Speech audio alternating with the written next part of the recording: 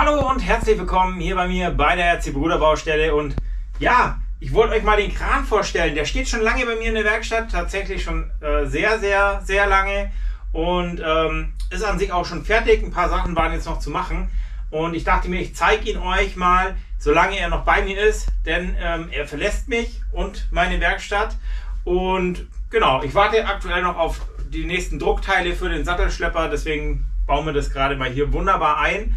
Ähm, wie gesagt, weil er halt gerade noch da ist. Ähm, ja, also angefangen habe ich vor etlichen Jahren und ich zeige euch jetzt mal ein bisschen so die Details von diesem Kran. Und er hat jetzt an sich keinen Maßstab ähm, oder irgendein Vorbild, irgendeine Vorlage, ähm, weil in 1 zu 16 oder 1 zu 14 Kran wäre dubios. Also die Dinger sind natürlich riesengroß. Ähm, hier war im Endeffekt der, ja, das, was ich machen wollte, von der Höhe her, dass ich sage, okay, er ist jetzt auf Augenhöhe, ich kann gut dran arbeiten. Aber wenn ich jetzt sitze auf dem Parcours, dann geht er mir nicht im Weg um. Das heißt, ich kann immer noch unten durchgucken. Ja, das war mal so der erste Gedanke. Und dann ähm, hat er ja hier jetzt keinen Haken oder irgendwas, sondern er hat hier einen Greifer. Denn den habe ich angefangen, da hatte ich noch keinen Radlader und keinen Bagger. Und er war im Endeffekt äh, dafür gedacht, die Siebanlage zu äh, bestücken und die LKWs äh, wieder aus den Bunkern zu befüllen und so weiter. Dafür war er ursprünglich mal gedacht. Mittlerweile habe ich keinen eigenen Parcours mehr und ähm, dementsprechend stand er jetzt auch bloß noch rum. Ja. So, schauen wir uns mal an. Ich lege mal den Akku ein, wenn ich ihn finde. So, der kommt hier drüben rein in die Kabine. Ich zeige euch nachher natürlich noch genau, wo was alles ist. So, Akku rein, Klappe zu. Und hier drüben ist der ein Ausschalter. Ja, so. Machen wir mal an.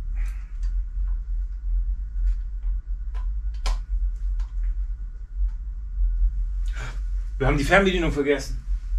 Zum Glück machte nichts. Fernbedienung schaut so aus. Äh, ist im Endeffekt Kunststoffgehäuse. Da habe ich die Fernbedienung innen reingebaut. Es sind Joysticks verbaut. Es ist ein Lichtschalter verbaut. Hier oben ist äh, Anschluss für den PC zum im Endeffekt äh, einstellen, wobei das ja alles schon erledigt ist. Hier könnt ihr mal den, die Batterie laden, habe ich noch nie gemacht, sind normale Batterien drin. Hier kann man umschalten zwischen Laden und Kran, damit das nicht ähm, sich im Endeffekt überschneidet. Das heißt, wenn ich hier drüben bin, habe ich das, das Laden ein und auf der anderen Seite eben dann die Bedienung.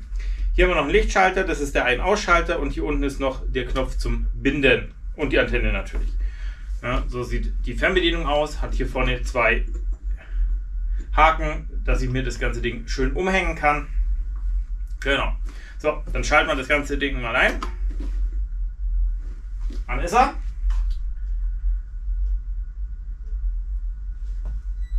Der Kran auch. Ich warte wieder auf das Piepsen. Er hat auch die Regler mit drin. Äh, insgesamt vier Stück.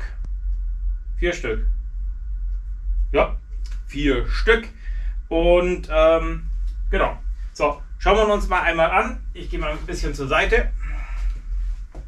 Von den Funktionen her haben wir ganz klassisch das Drehen. So, ich laufe gerade mal mit, damit er mir nicht den in den Kopf scheppert. So, dann haben wir hier einmal die schöne Rundumsicht. Dann haben wir hier vorwärts und rückwärts, also den Ausleger verstellen. Ich hoffe, ihr seht es auf der Kamera bis unten hin. So, hier wackelt das ganze Ding nach vorne und nach hinten. Dann haben wir hier das Ganze nach oben und nach unten. Ich zeige euch gleich, warum der so schreit.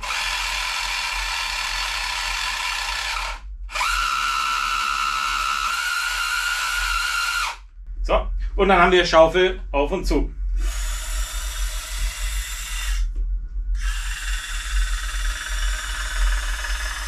So, und dann haben wir hier vorne noch einmal, ich drehe gerade mal rum. Ich hoffe, man sieht es überhaupt. Hier haben wir noch Licht, das ich hier zuschalten kann. Ist nicht allzu hell. Ich hatte tatsächlich vorher äh, relativ helle LEDs hier verbaut, ähm, die auf 12 Volt ausgelegt waren, aber ich habe jetzt kein Modul, das 12 Volt ähm, liefert, sondern eine andere Alternative hier mal ausprobieren wollen, die eben gut funktioniert. Ähm, das ist mal das eine. Und zum Zweiten, wenn es arg grell ist und der gegen mich, ähm, also ich sitze ihm gegenüber, dann ist es halt auch hell. Ja? Das blendet dann, es ist äh, jetzt auch nicht unbedingt super angenehm. Ich wollte einfach nur, dass Licht drin ist. Ja? So, dann haben wir jetzt hier die Positionslichter, nenne ich es jetzt einfach mal rundherum. Die blinkenden. Genau. So, dann müssen wir jetzt gleich noch eine Sache ändern, denn hier hinten, ursprünglich war hier der Akku geplant. So, ich nehme ihn gerade mal raus, wenn er raus will. Das heißt, hier ist ein 12 Volt Akkuklotz verbaut. So einer. Und der war hier im Endeffekt getarnt. So war die ursprüngliche ähm, Planung, was die Stromversorgung angeht. Stimmt nicht ganz. Die ursprüngliche Planung war, unten mit einer 12 Volt Motorradbatterie zu versorgen. Ähm, hier seht ihr auch noch das Kabel, das hier noch drin hängt. Das Problem ist, dass wenn ich alle Funktionen gleichzeitig fahre, die Drehdurchführung, die hier verbaut ist, diesen Ampere nicht mehr abnimmt. Das heißt, hier habe ich einfach einen Flaschenhals gehabt, es kam nicht genug Strom an und er hat äh, das Spinnen angefangen. So, das heißt, ich musste den von oben versorgen mit Strom und habe nur den Drehantrieb durch die Drehdurchführung gelegt. Geht wunderbar, aber wie gesagt, der Akku musste hier oben rein. Das andere, die anderen zwei sind im Übrigen ähm, gegossenes Blei, das ich angemalt habe. Ich zeige euch mal eins. Das heißt, ich habe eine Gipsform gemacht und habe mit dem Sigi zusammen hier Blei gegossen. Hanebüchen, sage ich euch, mache ich nie in meinem Leben wieder. Und jeder von diesen Kameraden hier wiegt übrigens ein Kilo. Dementsprechend kann man das hier wunderbar beschweren. Zwei sind fest und die anderen zwei können wir hier schön mit einsetzen. So, das heißt, wir haben hier geschmeidige 4 Kilo hinten drauf und dann haben wir hier ein schönes Gegengewicht für das Ganze. So, das wäre mal erledigt. Ich zeige euch jetzt mal ein bisschen so die Details von dem Ganzen und nehme euch hier für einmal mit. So, fangen wir auf der Seite hier vielleicht an. Ich zeige euch jetzt noch mal hier einmal die Beleuchtung, diese schönen Scheinwerfer, die wir hier haben. Dann ist hier drüben der Sicherungskasten mit einem Ausschalter. Wir haben für die Hauptfunktionen Drehen, vor, zurück, hoch, runter und die äh, Schaufel auf und zu machen jeweils eine passende Sicherung hier verbaut, damit hier nichts durchbrennt. Ich habe es noch nicht geschafft, dass was durchbrennt. Sollte auch nicht wirklich sein bei der Amperezahl, die hier verarbeitet äh, werden kann. Und hier oben ist der ein Ausschalter. So, ihr seht schon, das Ding ist tatsächlich aus Pappe und angemalt, weil das waren noch Zeiten, bevor ich überhaupt einen 3D-Drucker hatte.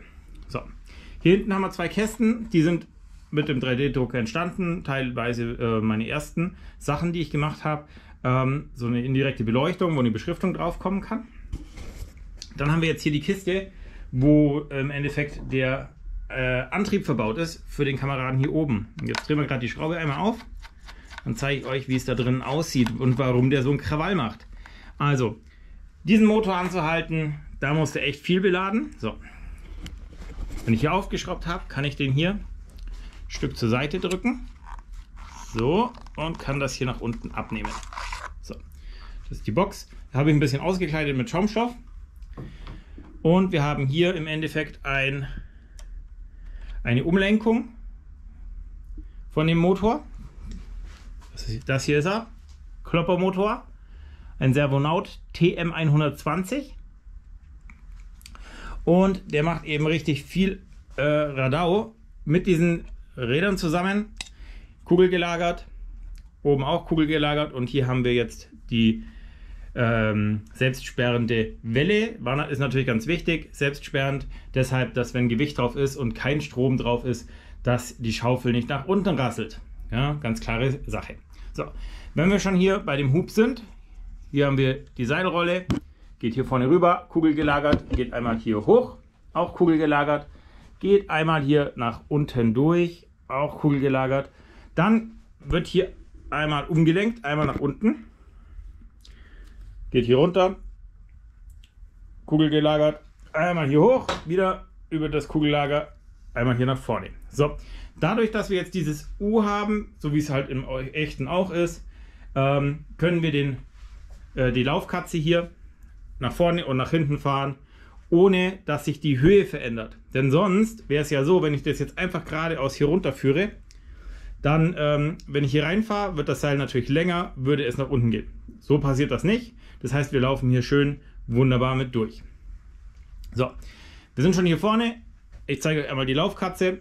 Die ist komplett kugelgelagert, einmal von oben nach unten mit je Seite vier Stück und einmal nochmal jeweils zwei an der Seite für links und rechts. Ja, ist also auf beiden Seiten so. So. Sieht also auf der anderen Seite genauso aus. Oben die vier, auf der alles hängt. Ja, das Ganze ist aus Aluklötzen. Ähm, Im Endeffekt wirklich mit der Pfeile selber äh, rausgefeilt. So. Die Laufkatze wird bewegt durch diese Welle. Das ist eine Trapezspindel inzwischen. Ähm, ursprünglich war hier eine Gewindestange drin, die ähm, A, erstmal sehr langsam war. Dann habe ich einen sehr, sehr schnellen Motor eingebaut. Und dann hat das Ding gescheppert ohne Ende. Es scheppert auch jetzt noch, aber viel angenehmer und die Trapezspindel läuft einfach viel sauberer. Ja, so. Hier vorne ist ein Ausgleichsgelenk drin, ähm, wo wir die Verbindung zum Motor haben. Und hier drin läuft im Endeffekt die Messinghülse, die das Ganze hin und her führt. Die ist auch nicht komplett fest äh, an der Laufkatze, sondern nur ähm, gehalten, ähm, dass äh, diese Schwingungen, die sich hier aufbauen, nicht auf die Laufkatze komplett übertragen werden. Ja? So. Dann haben wir hier die Schleppkette, die das Kabel mitnimmt für die Stromversorgung für unsere Schaufel. Und das Ganze ist so aufgebaut, ich habe hier oben einmal einen Stecker, ich könnte es also hier einfach aushängen abstecken und dann wäre die Schaufel hier frei. Das hier ist äh, ja, so, eine, so, ein, so ein Auszug, damit einfach das nicht durchhängt. Das zieht sich immer wieder zusammen. Hier unten ist auch nochmal steckbar und ihr seht schon, das Ganze habe ich im Endeffekt auch so angedacht, dass ich natürlich jederzeit die Schaufel hier abhängen könnte und gegen ähm, einen Palettengreifer austauschen oder gegen ähm, einfach einen Haken austauschen etc. etc. Das wäre jetzt hier natürlich auch alles möglich. Ähm, deswegen ist es einfach aussteckbar und abhängbar und dann ist es eigentlich auch schon wieder weggebaut, ja, wenn man das mal schnell möchte. So, dann kommen wir zur Schaufel. Da kommen immer wieder die Fragen ähm, hierzu. Also hier einmal die Umlenkung gelagert und wir haben hier, das hier ist kein Zylinder, und das hier ist auch kein Zylinder, die halten nämlich nur die Schaufel fest. Hier drin sitzt ein Motor, der einen Zylinder nach unten drückt und der macht das ganze Ding hier auf. So, ich hole mal die Fernbedienung und dann zeige ich euch das. So, Fernbedienung ist da.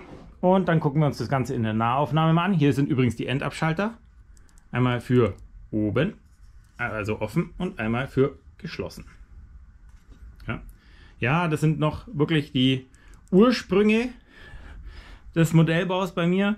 Ähm, und auf die Fahnen muss man halt wirklich aufpassen, damit da nichts passiert. Weil wenn die abbrechen, dann stoppt der Motor nicht und dann geht natürlich irgendwas kaputt. So. Also, ihr seht, jetzt fährt es nach unten raus und schlägt oben an. Und dann ist die Schaufel ganz offen. Und zurück natürlich auch.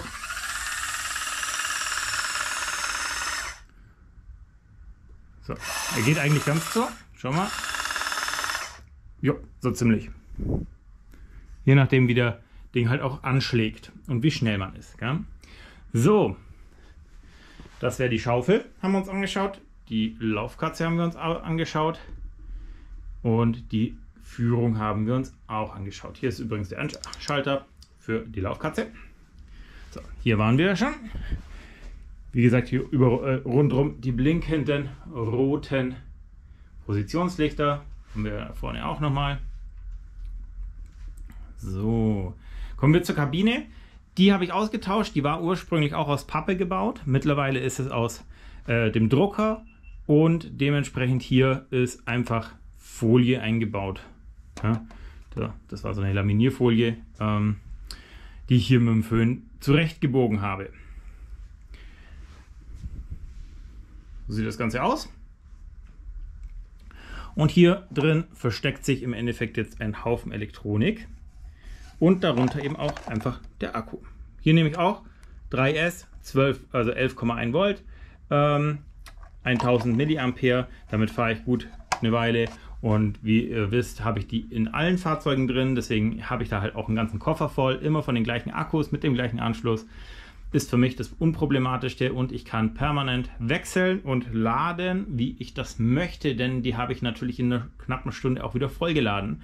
Und äh, nachdem ich davon von einem Akkutyp im Endeffekt so viele habe, ähm, auch die gleiche Baugröße eben, ähm, kann ich halt mal schnell wechseln. Und auch wenn es jetzt in ein oder anderem Modell eben mal nur eine halbe oder dreiviertel Stunde halten sollte, gut, dann haue ich halt den nächsten Akku da rein, denn ich habe mehr als genug. Ja. So, ähm, und die kosten relativ wenig. Also die sind ja für ähm, 10 bis 15 Euro äh, leicht zu bekommen. Ähm, deswegen, da sind wir ganz glücklich mit. Das wäre jetzt mal der Überblick. Und ich zeige euch nochmal die Maße im Gesamten. So, wollen wir uns das Ganze noch einmal im äh, äh, Totalen anschauen und nochmal ein bisschen die Bemaßung besprechen, oder? Ich habe hier eine Gesamtlänge ähm, von dem oberen Ausleger von 1,44, also 1,44 Meter.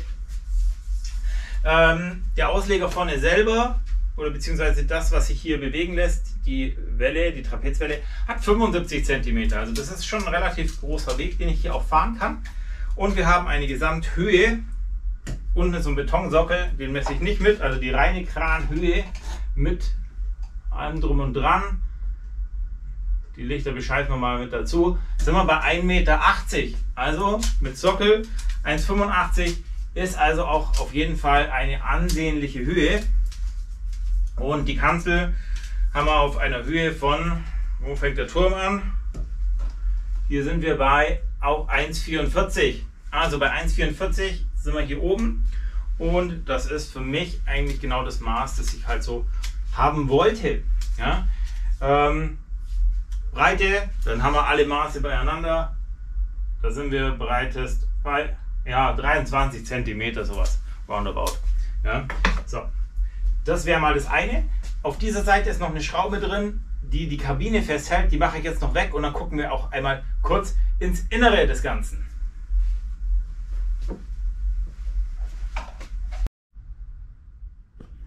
So, gucken wir mal hier. Die Schraube ist locker. Sitzt hier hinten drin und dann können wir hier die Kabine einfach runterheben. Und dann sehen wir jetzt hier den ganzen Kabelsalat.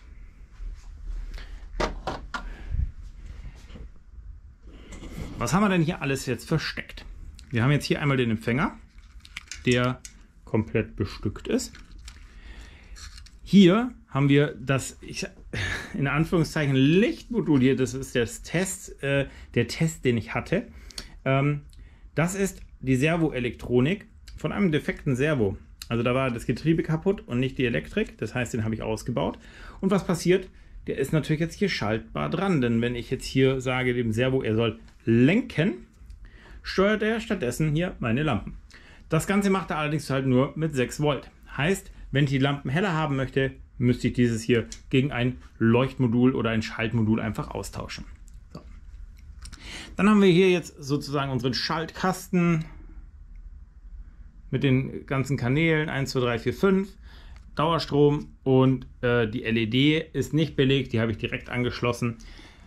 Und dann haben wir hier drinnen auf dieser Seite noch, das sehen wir hier, ein BEC-Modul und da hinten ist ein Modul, das die roten Lichter blinken lässt. Hier könnt ihr jetzt noch die Geschwindigkeit umstellen und die Intensität oder die Modi, wie das ganze Ding blinken soll.